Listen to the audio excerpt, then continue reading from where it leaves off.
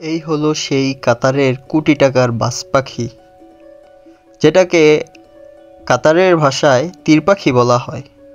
আর এটার ইংলিশ নাম হলো ফ্যালকন। তো বন্ধুরা, এটা হচ্ছে পৃথিবীর সবচাইতে দ্রুততর গতির মধ্যে একটি পাখি হচ্ছে এই ফ্যালকন পাখি, যেটা কাতারিদের ভাষায় তীর পাখি বলে।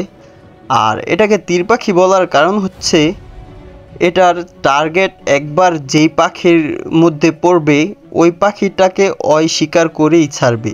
সেজন্য এটাকে তীর পাখি বলা হয়। তো বন্ধুরা, কাতারে এই এক একটা পাখির দাম সর্বনিম্ন ত্রিশ লক্ষ থেকে কোটি টাকা পর্যন্ত এর এক একটা পাখির দাম। তো এর দাম মূলত নির্ধারণ করা হয় এর হিংস্রতা এবং এর সৌন্দর্যের উপর ডিপেন্ড করে এর মূল্য।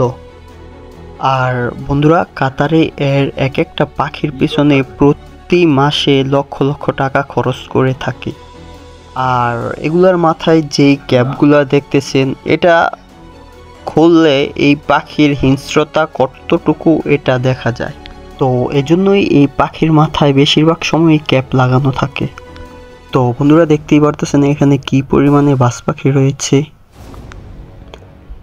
আর এগুলো মূলত হচ্ছে বাস পাখির খাবার, আর বাস পাখির প্রধান খাদ্য যেটা, এটা হচ্ছে কয়েল পাখি, কবুতর, তারপর হচ্ছে হাঁস রয়েছে। তো দেখতেই পারতেছেন এখানে কত কবুতর, কয়েল পাখি এবং আমি উপরের দিকে দেখাই, উপরে হাঁস রয়েছে।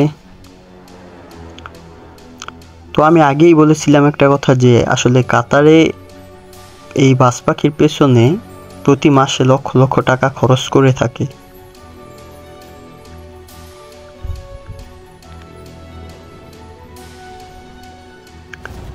দেখুন কি পরিমাণে এখানে কবুতর রয়েছে।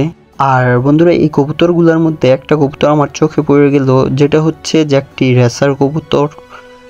দেখতেই পারতেছেন, এর পায়ের মধ্যে হচ্ছে দুইটা ট্যাগ, যেটা হচ্ছে রেসিং খেলার জন্য একটা ট্যাগ থাকে। আর আরেকটা হচ্ছে, এটার জন্মগত একটি ট্যাগ, যেটা দেখতেই পারতেছেন, এটা হচ্ছে বাহরানের একটা কবুতর।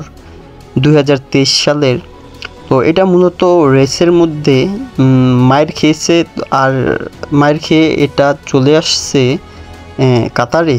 তো দেখতেই পারতেছেন, আর এই কবুতরটা ধরা পড়ে এখন বর্তমানে আছে খাঁচার মধ্যে। তো বন্ধুরা, আজকে এই পর্যন্তই ছিল ভিডিওটা। তো ভিডিওটি ভালো লাগলে অবশ্যই একটি লাইক দিয়ে দিবেন। আর বন্ধুরা, আমার চ্যানেলে নতুন হলে অবশ্যই চ্যানেলটি সাবস্ক্রাইব করে দিবেন।